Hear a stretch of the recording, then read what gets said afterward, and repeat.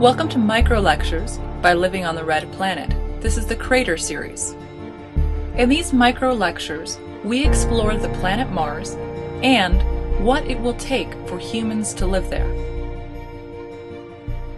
So, for today's micro lecture, our seed question is Why does Mars have so many craters? Or, asked in another way, why does Mars have more craters than Earth?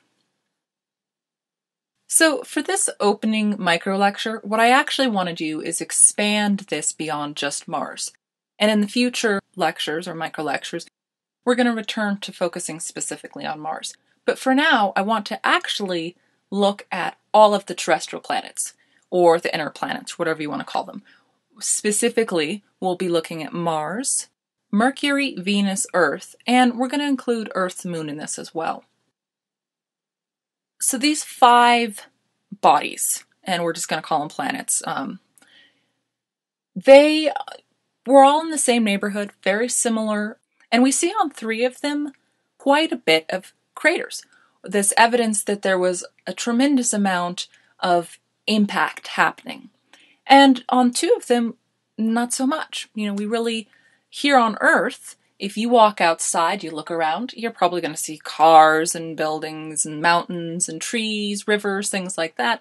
But you're probably not going to see a lot of impact features. You're not going to see craters or impact basins. Basins are basically very large impacts. And when you look at Venus, Venus has this very, very thick atmosphere, and without special equipment, we can't see to its surface. But if we look at Mars, if we look at Mercury, and we look at the moon, they're covered in craters. You can walk outside, you can look at the moon, you can see it without any sort of equipment.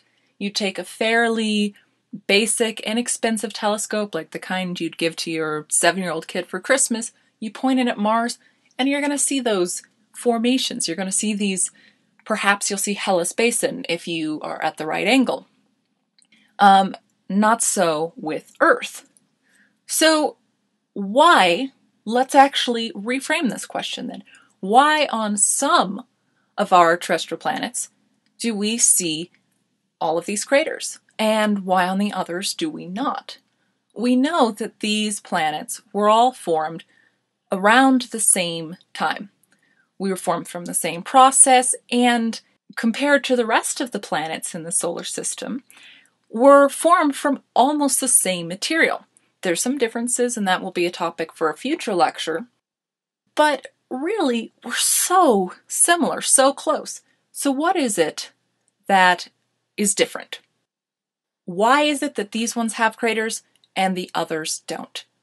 And this question is the type of question that would be asked in a field which these lectures, these micro lectures, are going to be touching on quite often.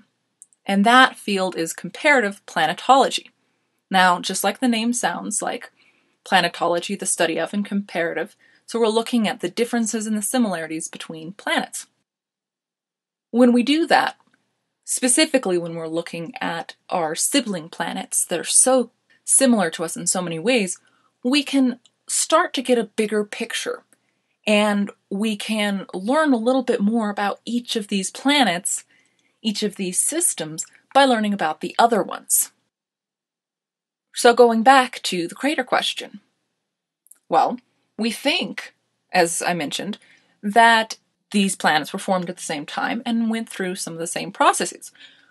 We all probably went through what is called the late heavy bombardment, and there's a lot of different hypotheses for why that occurred, which I encourage you to go ahead and look up on your own because we're not going to cover that at this moment. But basically, this was a period about 4 to 3.8 billion years ago when there was a tremendous amount of activity and objects which had formed further out in the solar system were falling towards the sun. And the inner planets were in the way and they got hit. And we can look at Mars, we can look at Mercury, and we see that. We can look at the distribution, and then we can look at what other impacts happened on top of it to help give us an idea of what what the order was when the time frame was that, that this happened. Now, presumably, this happened to Earth too. But once again, where are they? if Earth got hit by these thousands of craters, of impacts, excuse me, causing craters, well, where are they? Well, let's look at that the differences because we've talked about the similarities, similar locations, similar materials, um, similar-ish size if you compare it to, you know, Mars to Earth compared to Mars to Neptune, say, you know, they're very close in size. Well, what we believe, and there's a lot of factors, and each of what I'm going to mention to you, to another extent, to, happens on the other planets. But Earth has this very unique combination, which causes much of its record to be deleted. So we have very few rocks here on Earth that are from 4 billion years ago because Earth erases it. And the main way, got two ways that it does it. does it through weathering and it does it through plate tectonics. So you've probably heard about plate tectonics. And what that is basically is that the crust, we have these very large uh, plates which are moving around. Now, on a human scale, they're just inching, literally, uh, moving very, very slow. But on a geologic scale, this is actually all happening very quickly, and Earth is very, very dynamic. So these plates, these are they're crashing into each other and separating, and we're having new land forming. And then we're also having a process which we call subduction, where when two plates are hitting, sometimes one of them will start to slide underneath the other, and the crust that was there is getting buried. And the further down it goes, the more pressure, the hotter it is, and it actually turns into magma and reforms what was there. So we have all of this volcanic activity happening, and basically it's reshaping, resurfacing the planet. Now we also have water. Our planet, most of the surface is actually covered by water. And water is incredibly powerful when it comes to reshaping surfaces. All you have to do is take your hose, take it outside to some sand, and spray it for just a few seconds, and you'll see that it moves things around. Um, and then we also have weather, and we've got the wind happening. And yes, some of the other planets also have weather, but we we have a lot of it. Um, and wind is very very powerful. So, a combination of all of these means that Earth really doesn't have a lot of record from earlier on. When we look at Mercury, when we look at Mars, we see a lot more. Now, as I mentioned, you know, Earth is not the only planet to have volcanic activity. In fact, all five of our inner planets, our terrestrial planets, have at some point in their history had volcanic activity. Uh, interestingly, we really don't know whether Mars still does or doesn't. There's a lot of evidence that says, hey, it probably does, because we have records from only 200 million years ago of volcanic activity, and on a geologic timescale, that's a you know that's a blink of an eye. That's almost nothing. So the possibility that it's still active is really intriguing and has a lot of implications for life, both past, present, and future life that humans will bring there and we'll talk about that more in another series. Now, Mars also has weather. Again, not to the same extent that Earth does, though. We can, in fact, we've seen it from Earth where Mars has these large dust storms where when you turn, you put your telescope there and you can actually see it. But Mars doesn't have as thick an atmosphere as we do. So it's a lot more limited. Venus the example of a much thicker atmosphere, and it has a lot of weather going on. Now, Venus has also had much more recent volcanic activity. We think that within the last 500 million years that it's actually had major resurfacing events. So we don't see as many uh, impacts as we do on our planets such as Mars and Mercury and the Moon, which haven't had as much activity recently. Now, it's also really important to mention, and I talked about Earth having a lot of water.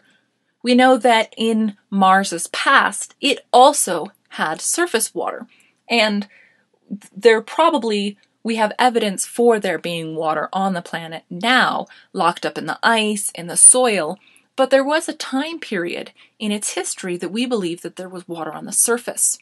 Um, and this was a period we call the Noachian period, and it was probably a warm, warm in comparison to what it is now, and wet world. And we see features that most likely were caused by water on the surface. Today, its environment is very cold and very dry, and we don't see that. So, this reshaping that would have happened by water isn't happening to the same extent anymore the way it is on Earth. So, let's recap real quick. What we've talked about is some of the similarities, some of the differences between the inner planets. We've talked a little bit about comparative planetology and the main reasons, mainly that Earth rewrites its history through plate tectonics and through weathering by water and wind, which we see to a lesser extent on the other planets. Studying the other planets is going to help us to learn more about Earth and all of those planets, the whole system that we're part of. So we're out of time now, but in the future micro lectures, the ones coming right up, we're actually going to narrow back down and look specifically at Mars again. We're going to talk about craters, their formation, the kinds of craters there are, and then we're going to focus on what implications that Martian craters themselves have for future habitation of Mars. So, thank you so much for listening. I hope you found something interesting out of this. If you have questions, comments, we'd love to hear from you in the comments section below. Or you can contact us directly through livingontheredplanet at gmail.com or visit livingontheredplanet.com. Stay tuned for future micro lectures, and in the meantime, keep learning.